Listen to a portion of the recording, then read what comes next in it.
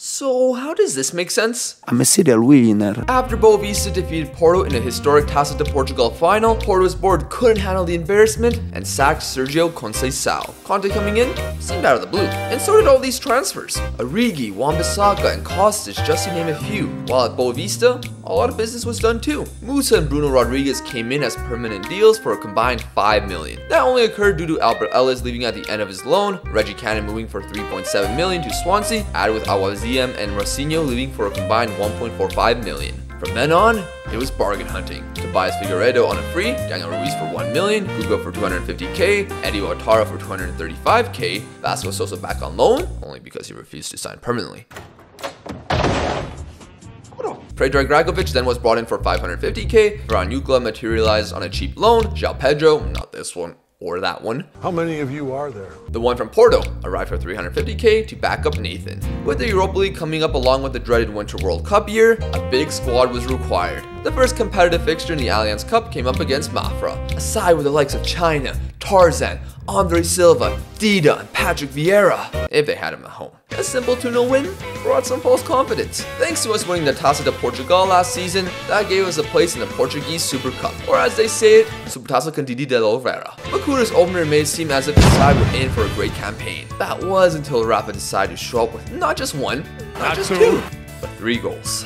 Through this early period, some signings weren't made yet, such as Rajkovic and João Pedro. That meant the now 41-year-old Rafael Bracali had to start, and Nathan had to play all of these fixtures. It seemed fine as the Twitch chat derby with Santa Clara opened the league campaign. Several chances appeared, but despite having two expected goals, Santa Clara had a free kick late. What? They'd score again and somehow won. Absolute injustice. Not much luck came against Jorge Jesus' Estoril, who scored late as well, giving another L to Boavista. Afterwards, Famalicão was a nil-nil draw, which by this point, Rajkovic arrived. Now to finally rest Nate, João Pedro started his first match versus Braga. We have a highlight off the rip here, not like this. Don't start the game like this. Offside. No way. No, what? Red card?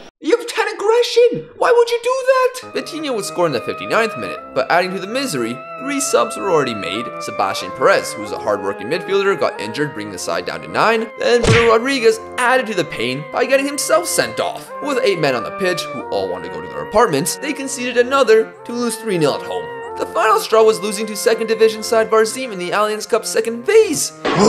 These poor results could be brought down to several issues. Numerous players joining the team needing time to adapt, some players tried to learn different roles, and losing the team's best player didn't help. Oh yeah, let's mention Gustavo Sauer, who had 20 goal contributions last campaign. He was on the final year of his deal. Sporting Club de Portugal made an offer, and after the realization that a new contract cannot be afforded, he went on his way to Lisbon. An immediate replacement couldn't be found because the targets conveniently signed new contracts. Mm, that is why Yukla was loaned. To help ease some issues, Eduardo Quaresma and João Resende arrived on loan from the Lisbon clubs just for a nil-nil draw with Tondela. No win since an Allianz Cup match in preseason, and that wasn't going to change when the damaged park bus made its way to Sporting Stadium.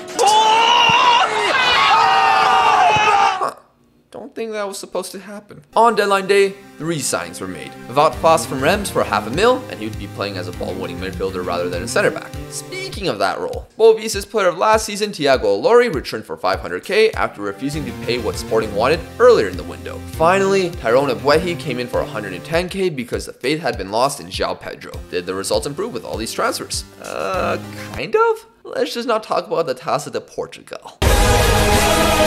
Is this some sick joke? To me personally, it's a very dark time. As expected, 3-0 L's to both sides, with goals happening in the first half. I mean, Chrooninho believed there was a campaign against Boavista, but you can't complain about the bias against your team when you draw Molde 1-1. Granted, Molde somehow defeated Atletico Madrid on the first match day, but mm, that's besides the point. Atletico's manager was of course Chrooninho's hero, Jose Mourinho. He absolutely threw the Porto-based club into the mud. The other Jose didn't respond well, but the special one would get his way in the reverse fixture. Outside of Europe, the results in the meantime were not fun. En route to defend the Taça de Portugal, a third division side named Amora were drawn. A relatively strong side were playing, but the team performed like absolute dog water. You'd think there would be no shot that this team valued at millions would lose to a side not even valued at one.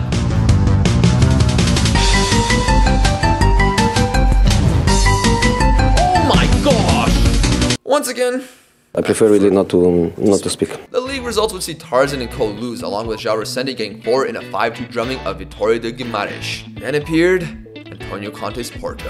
I prefer to kill him. I could build this up as some epic encounter. In the Invicta Derby, Porto was desperate to get their revenge with an insane looking bunch of players, but Boavista just got devoked. Divock Origi with a brace, and Taremi getting a third in the 55th minute resulted in a 3-1 defeat. Portimonense would add more pain, leaving the club well off the European places, but the remaining Europa League matches included a win versus Molde and shocking Newcastle with a 1-0 victory. Unfortunately, that wasn't enough to stay in Europe's secondary competition, but now it's time for a Conference League dreaming. Just doesn't hit the same. After a winter spent hearing it's coming home for the millionth time, England wouldn't do what the Lionesses did, and instead lost the World Cup final to France thanks to a 94th minute Olivier Giroud winner. Speaking of the greatest player since Pele, despite making a tough match for Benfica, Giroud would get a goal and an assist to hand the checkered kids another poor result in the league. Thankfully, with the schedule becoming less hectic and knocked out of several competitions, the fixture list became manageable. Results in January had their ups and downs, but getting revenge over Santa Clara and Estoril were confidence boosters prior to Braga.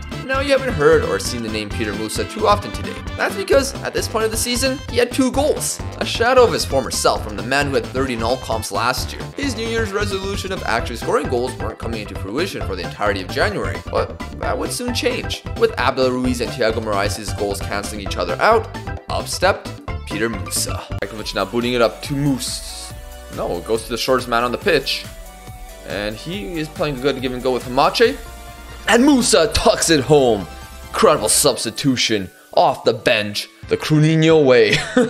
He'd go on and score against Paços de Ferreira in a 1-1 draw and added a goal versus Tondela. Sporting were up next, and they'd get a new manager soon. Well, new new, because their latest one, Rui Jorge, seemed awful at his job. Thiago Moraes and Peter Musa would each grab a goal in a 2-0 victory. By March, it'd be the end of him. Sporting, like Porto, sacked a highly respected manager at the end of last season. Jose Chrooninho saw this as an opportunity to take a step up, but he didn't even get an interview. March would roll by, Rui Jorge was sent away, and Sporting asked for an interview with a future special one. The interview seemed fantastic, which made the owner of Boavista, Gerard Lopez, a nervous man. He offered a contract, which led to nothing. However, without even realizing, Sporting hired Pedro Martins, and Chrooninho would eventually sign a new deal with Boavista. In the Conference League, thankfully it was a single elimination for the round of 32 and 16. I mentioned 16 because the round of 32 opponents were Servette, and they were defeated with relative ease. Galatasaray, on the other hand, have like a lot of potential when I think he was at Roma, was it? And he was, I remember in like FIFA 14 or something. Ooh, speaking of Stefano Okaka. There's a goal from him. Good football here, good football. Morais, Let's go! Thiago Moraes. Wing back or fullback? Oh! Eunice, oh my gosh, that's a good ball. He's gonna look for Okaka. Mark the man! We're gonna go for it now. Okay, good ball. Come on, pass it, pass it, pass it to someone. Oh, Nate! What a strike! Come on, Eddie. Come on, Eddie. Pass it across. Oh! No cup competitions left. Nevertheless, a Conference League playoff spot was up for grabs with 10 matches left. Resende came up with a big goal versus Famalicão in a 1-0 victory, Vizela were smashed 5-1, while March ended with the fraud Pedro, who was on loan at Gil Vicente, losing 2-0. Despite BTEC Andre Silva scoring, the meme squad of Mafra couldn't handle Thiago Moraes, and Vitória de Guimarães were defeated 2-1. That was despite the side being down to 10 men with 60 to go. The late winner arrived from Peter Musa. His scoring form was off the charts and made it seem as if Sporting could get caught for fourth. Maybe that's a little optimistic, especially with Conte's Porto next.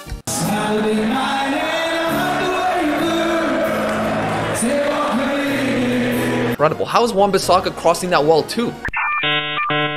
Can't. I'm, I'm too mad to even think of anything funny. Oh, I swear, if Origi scores. How is he getting a hat trick in 25 minutes? How is the how is Demir out jumping my center back? Oh, and Origi again with four! An embarrassment of a derby that had Porto destined to win the title. The challenge for Boavista wasn't going to end yet with Benfica right after. The plan was to frustrate the Lisbon club, and that was working for the longest time. Oh gosh. Come on, no, no, no, no, no. Never mind.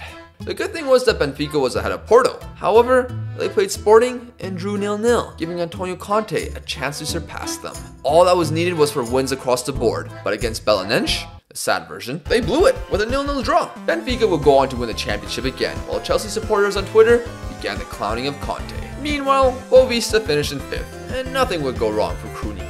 I prefer really not to not to speak, not to speak, not to speak, not to speak. This won't be forgotten. Despite the challenges from the board, the eliminations from all cup competitions, including the embarrassment in the Taça de Portugal again, the third season for Cunha was Fantastic. undefeated 8 match days in, including 7 clean sheets, everything was going Boavista's way, and the opposite would be true with city rivals. Porto were a disaster, and despite a successful time in the cup so far, Conte's men were well off it. Antonio was beginning to go bald for a second time as team celebrated successful result after successful result. He already got sacked by Spurs, and on a chilled November 13th, Conte will be sacked In the morning.